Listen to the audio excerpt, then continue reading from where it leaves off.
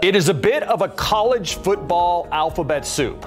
OU, UT, SEC, but really it comes down to money. I think. Let's check in with Chip Brown, who is with horns247.com. He's a good friend of mine. Chip, I appreciate you making time because I know there's all kinds of stuff going on with the Longhorn program and where they're going to be playing, when they're going to be playing.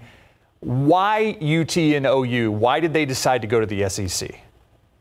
Well, and you mentioned there's all kinds of stuff going on, and the A&M regents just came out of executive session and said that they will vote yes, or Kathy Banks will vote yes uh, when the SEC presidents um, meet tomorrow and are expected to vote on Texas and Oklahoma's admission into the Southeastern Conference, and that vote is expected to go through.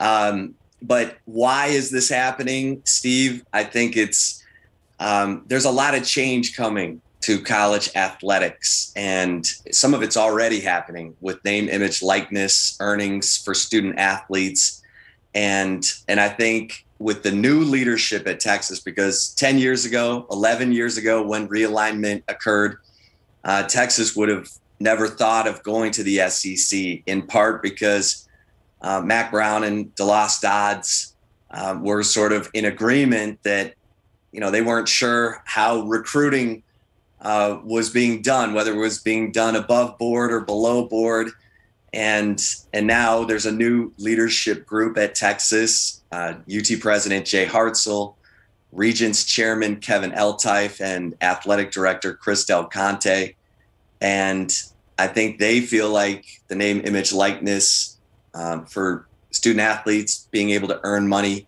uh, is it sort of negates any of the previous concerns.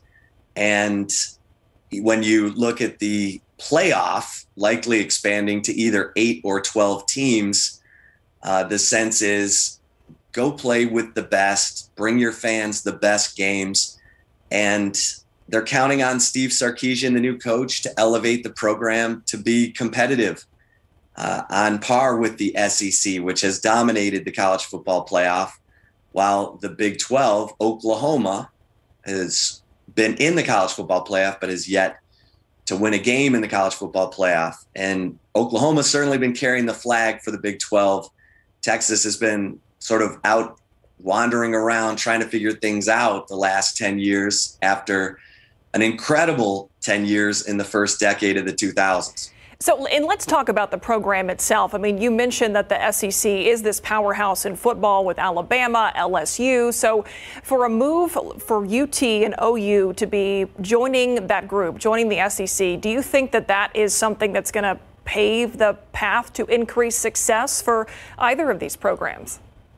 Well, it's it's going to be high quality entertainment. I mean, you're going to get your season ticket holders to renew every year.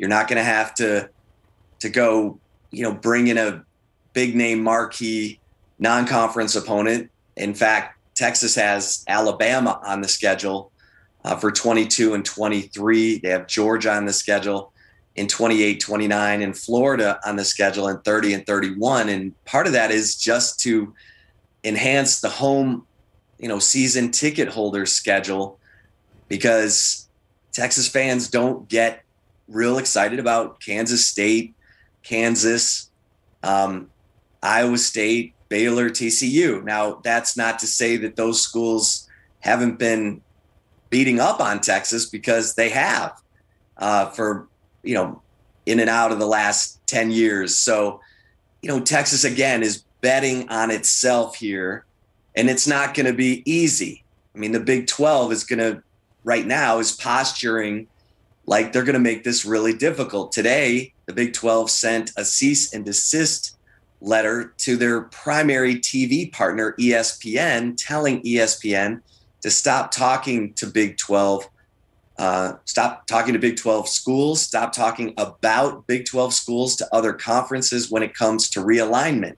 Interesting. Basically, accused ESPN of talking um, to another conference about trying to attract one of the remaining eight schools uh, to a conference. So this is going to get crazy. Realignment always does. The passion of college athletics always uh, it assists in that. All you have to do is go to Twitter to yeah. to read yeah. all the yeah. all the viewpoints on this. But it's um, Chip, we're running know, out Texas. of time. We're running out of time here. I want to ask you one more question before I go because I know you're well versed in the Big 12 and in the college football landscape. What does UT and OU leaving the Big 12 mean for schools like Baylor, like Texas Tech, like TCU? Yeah, I mean, we don't know yet, but it uh, to, to me, the Pac-12 and whether you know they've been trying to get into the Central Time Zone, do they make a move to try to acquire some or all of the remaining Big 12 schools is something to watch here. Do you think the legislature steps in on this? I mean, I think Texas and Oklahoma might have been hoping that the Big 12 would be dissolved by the time the legislature meets in regular session again in 2023. Um, the remaining schools in the Big 12 are saying we need to keep Texas and OU in the Big 12 for the next four years. That's not what Texas and OU are hoping. Yeah. A lot to watch in addition to the football itself. Chip Brown with uh, horns247.com. Thanks so much for being here. Thank you. Appreciate it, buddy. We'll be right back.